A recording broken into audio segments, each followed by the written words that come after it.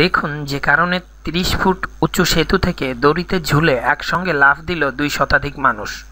কল্পনা করুন তো, উঁচু কোনো জায়গা থেকে দড়িতে ঝুলে একসঙ্গে দুই শতাধিক মানুষ ঝাঁপিয়ে পড়েছে।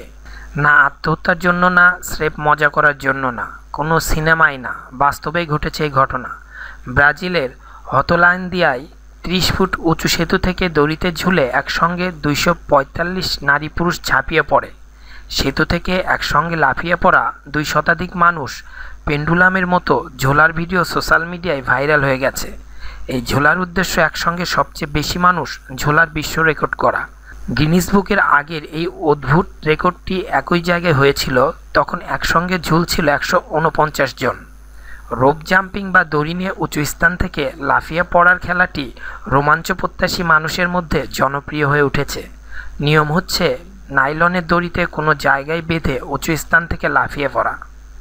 দেশি ও প্রবাসী ভাই বোনেরা, আমাদের এই চ্যানেল হতে আপনারা যদি আরও লেটেস্ট নিউজ পেতে চান, তাহলে অবশ্যই সাবস্ক্রাইব করে আমাদের সঙ্গে থাকুন। ধন্যবাদ সবাইকে।